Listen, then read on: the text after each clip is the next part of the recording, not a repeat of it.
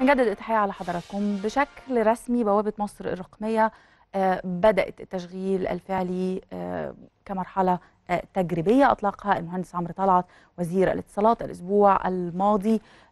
خلونا نعرف تفاصيل أكتر لأنه هذه المنصة مهمة جدا في وقت إحنا بنتحدث فيه عن تحول آه، رقمي بنتحدث فيه عن إنه خلاص آه، الكترونيا واللجوء للمنصات الإلكترونية أصبح مهم جدا. فإحنا داخلين إزاي في هذا العصر؟ معانا مهندس عمرو طلعت وزير الاتصالات. أهلا بحضرتك يا فندم. أهلا بحضرتك يا فندم. أشكرك على الاستضافه الكريمه آه، يمكن ناس كتير مهتمة إنها تعرف تفاصيل أكتر عن هذه المنصة. هذه المنصة هتكون عليها خدمات قد إيه؟ هتشتغل إزاي؟ تمام. يمكن سياده التذكري كنا في آه، آه، يونيو آه، 2019 أطلقنا مشروع آه، تجريبي في محافظة بورسعيد. المنصة كانت لمحافظة بورسعيد فقط. آه، وضعنا عليها مجموعة من الخدمات آه، الحكومية المرقمنه آه، وبدات الإطلاقات هذه الخدمات آه، يعني تتعاقب خلال 2019 لحد ما بلغت 155 خدمة آه، بنهاية 2019 آه، ال- هذا الأسبوع أطلقنا بشكل تجريبي بوابة مصر كلها بوابة. مصر الرقمية. آه، بنفس ال ال السياق. يعني بنبدأ بمجموعة من الخدمات ثم آه، يتوالى إطلاق باقي الخدمات. الخدمات اللي بدأنا فيها فندم هي ثلاث حزم من الخدمات. الحزمه الأولى خدمات آه، التموين بالتعاون مع وزارة التموين استصدار بطاقة تموين آه، تغيير آه، البطاقة آه، آه، آه، استصدار بدل فاقد بدل تالف آه، تجديد أي خدمة من هذه الخدمات المتعلقة ببطاقات التموين. مم. الخدمة ال- أو الحزمة الثانية بالتعاون مع النيابة العامة ووزارة الداخلية مم. هي الحزمة الخاصة بتراخيص آه، المركبات وتراخيص القيادة. هذه يمكن للمواطن إنه آه، آه، يجري كل عمليات واجراءات آه، آه، تجديد التراخيص سواء القيادة أو المركبات ما لم يكن عليها فحص من خلال ال- المنصة ويتلقى الترخيص الجديد آه، على العنوان الذي يختاره آه، من البريد المصري. آه، بمعنى إنه ممكن يطلع على مخالفاته يتظلم منها يعرف تفاصيلها آه، ثم يسددها يسدد مصاريف التراخيص يسدد مصاريف التأمين الإجباري ويحدد ال- المكان الذي يرغب في أن يتلقى فيه الرخصة طيب ال- الحزمة الثالثة. آه، بالتعاون مع وزارة العدل وتنقسم إلى آه، قسمين القسم الأول خدمات التوثيق كل خدمات التوكيل آه، وما يتعلق به من إجراءات من حيث اختيار نوع التوكيل ملء البيانات. سداد الرسوم ثم فقط يعني توجه إلى مكتب التوثيق آه، لاستلام ال- التوكيل بعد أن يتحقق آه، منه الموافق ومن أهليته للتصرف. آه، الجزء الثاني من من هذه الحزمه هو رفع الدعاوى المدنية ودي طبعا موجهة للسادة المحامين إن مم. المحامي يستطيع إنه يرفع دعوى مدنية من خلال بوابة مصر الرقمية ولا يتعين عليه الذهاب إلى المحكمة لرفع دعوى لموكله. طيب إزاي إزاي برضو هيتم الرقابة على إنه ما يحصلش أي تلاعب من خلال التعامل مع هذه المنصة؟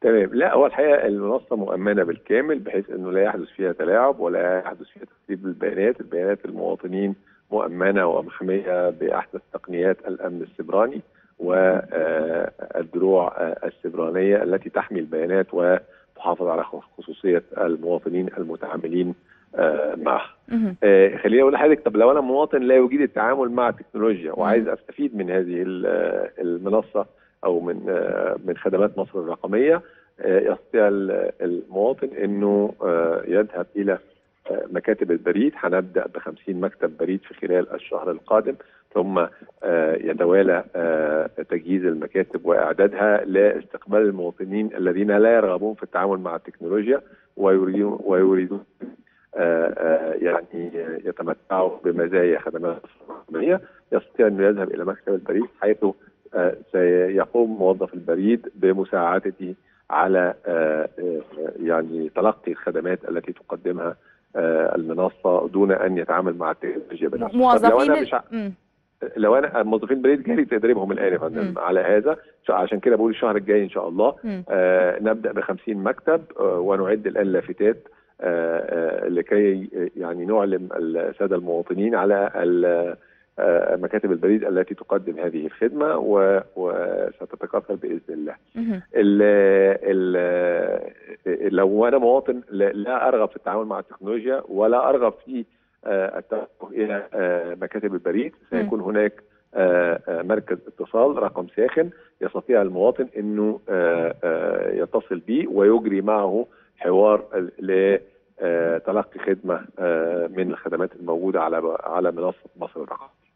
هل ده أو يعني إلى أي مدى هيقلل الضغط على فكرة إن أنا أروح المصالح الحكومية وأعمل هذه الخدمات كلها بنفسي؟ أعتقد يا فندم إن هو هيفرق آه، يعني نقلة هو نقلة نوعية في آه، آه، آه، طريقة التي تقدم بها الخدمات الحكومية إلى المواطن. النهارده آه، نعلم نعلم أنه نشأت لدينا ثقافة من في في ال- في العقود السابقة إنه إزاي المواطن بي بي يعني يلاقي عناء ومشقة آه، في آه، إنه يحصل على آه، استحقاقاته من خدمات حكومية وذهاب مرة واثنين وثلاثة إلى مكاتب ال- التي تقدم هذه الخدمات. إذا استطعنا أن إحنا نوفر هذه الخدمات للمواطن دون أن يذهب إلى المكتب وهو في بيته أو في في مكتبه أو أيا كان ويتلقى نفس الخدمة ويجي له الرخصة لحد البيت آه، في ظرف مغلق من البريد المصري.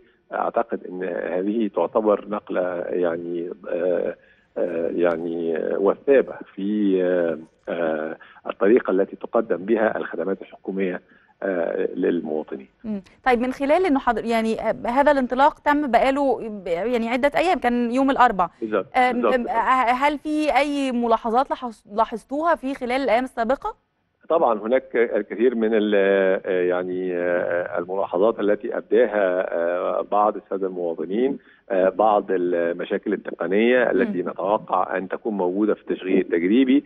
يعني كل الملمين بال- بالاتصالات وتكنولوجيا المعلومات يعلمون دوما أن أي منظومة معلوماتية لابد أن يعني تأخذ بعض الوقت لكي تستقر. ويمكن حتى بنشوف في في البرامج المشهورة اللي كنا بنستخدمها بيبقى في إصدار أول وثاني وعاشر و12 مظبوط. فتبلي هذه الإصدارات.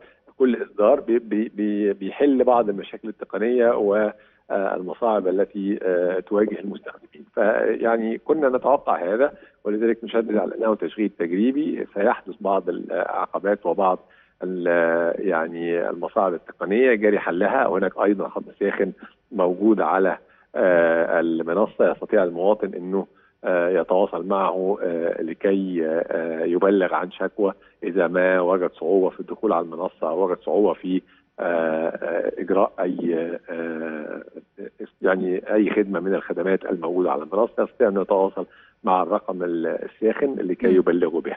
فالموضوع ياخذ وقت على ما يستقر ولكن الحمد لله الإقبال آه، كبير من آه، السادة المواطنين آه، على إقبال قد إيه يا فندم والله يا فندم امبارح آه، لوحده بلغ أكثر من 5000 في يوم واحد مم. وده يعتبر آه، يعني آه، رقم إحنا بدانا ب كبير. 500 في في يوم وصلنا إلى 5000 آه، أمس مم. والعدد بيزيد وده حاجة طبعا يعني نشكر السادة المواطنين عليها ونعدهم إن إحنا نبذل قصارى جهدنا لكي نحسن من المنصة ونطور من أدائها ونزيل كل المشاكل التقنية التي آه، واجهت آه، بعض الساده المواطنين. طيب إيه أكتر حزم المواطنين بيستخدموها أو بيدخلوا عليها آه، يعني للاستفادة منها من خلال هذه المنصة؟ أكثر حزمه الحقيقة إلى الآن هي حزمة خدمات التموين.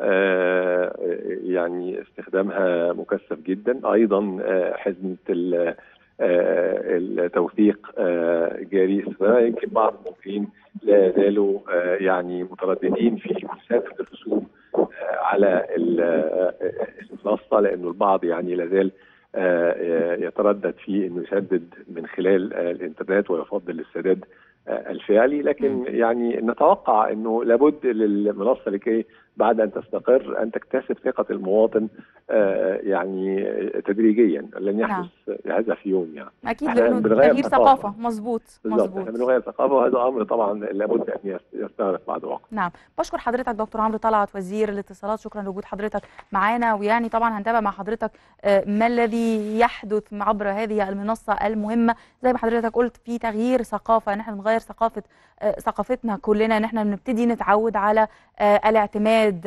على الحصول على الخدمات الكترونيا بدلا من التوجه إلى المصالح الحكومية. شكرا لوجود حضرتك معانا.